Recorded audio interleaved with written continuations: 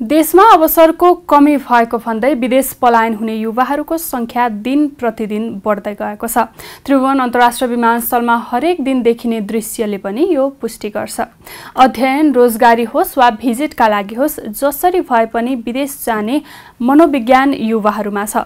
अर्कोतर्फ रोजगारीका लागि पनि युवाहरूको लक्ष्य विदेश नै रहेको देखिन्छ भने पेसा व्यवसाय र जागिरमा लागेकाहरू पनि नेपालमा भविष्य नभएको भन्दै विदेश जाने क्रम बढ्दो छ अध्यागमन विभागको तथ्याङ्क हेर्दा सन् दुई हजार बाइस जनवरी यता कुल विदेश जाने नेपालीहरूको सङ्ख्या तेइस लाख सडसठी हजार पाँच सय अठहत्तर रहेको छ। यो दुई हजार बाइसको जनवरीदेखि अहिलेसम्मको टोटल हेरियो भने जुन चाहिँ अध्ययनको लागि र वैदेशिक रोजगार र भिजिट भिसामा जाने सबै गरी हामी हाम्रो एयरपोर्टबाट डिपाचर हुने सङ्ख्या हेऱ्यो भने तेइस लाख सडसठी हजार पाँच सय अठहत्तर देखिन्छ। यो चाहिँ ठुलै सङ्ख्या हो सङ्ख्यात्मक हिसाबले हेर्दाखेरि। नेपालबाट सबैभन्दा बढी रोजगारीका लागि विदेश जाने गरेका छन् भने अध्ययन तथा भ्रमणका लागि जानेको सङ्ख्या पनि उत्तिकै रहेको छ। सरस्वती हेर्दाखेरि यो कोभिडभन्दा पछाडि बाहिर जाने ट्रेन अलिक बढेको छ। खास गरी वैदेशिक रोजगारीको सिलसिलामा त्यसै गरी अध्ययनको सिलसिलामा र भिजिटको सिलसिलामा बढी नेपालीहरू बाहिर गएको देखिन्छ।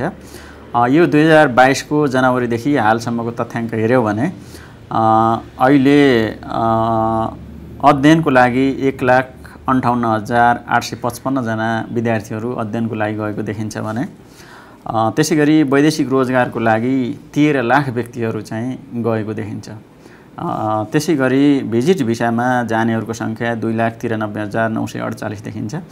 यसले गर्दा पछिल्लो चरणमा यो चाहिँ बढेको अवस्था हो। अध्यागमन विभागको तथ्याङ्क अनुसार गन्तव्यका आधारमा सबैभन्दा बढी नेपाली युएई त्यसपछि क्रमशः Malaysia Qatar Saudi Arabia Bharat Australia Japan America Kuwait बेलायत दक्षिण Korea Thailand Canada Hong Kong Romania Bahrain Portugal Oman लगायतका देश पनि नेपालीहरूका प्रमुख गन्तव्य मुलुक रहेका छन्। अब स्टुडेन्ट भिसामा जानेहरू धेरै जसो चाहिँ युरोपियन कन्ट्रीहरूमा छ। अस्ट्रेलिया क्यानाडा त्यसै गरी युएसए जस्ता देशहरूमा विद्यार्थीहरू बढी गएको देखिन्छ भने वैदेशिक रोजगारीको लागि खाडी मुलुकहरूमा बढी गएको देखिन्छ। भने भिजिट भिसामा जानेहरू प्राय पनि थाइल्यान्ड भयो त्यसै गरी चाहिँ युए भयो मलेसिया हङकङ लगायतका देशहरू र केही युरोपियन कन्ट्रीहरूमा पनि गएको देखिन्छ।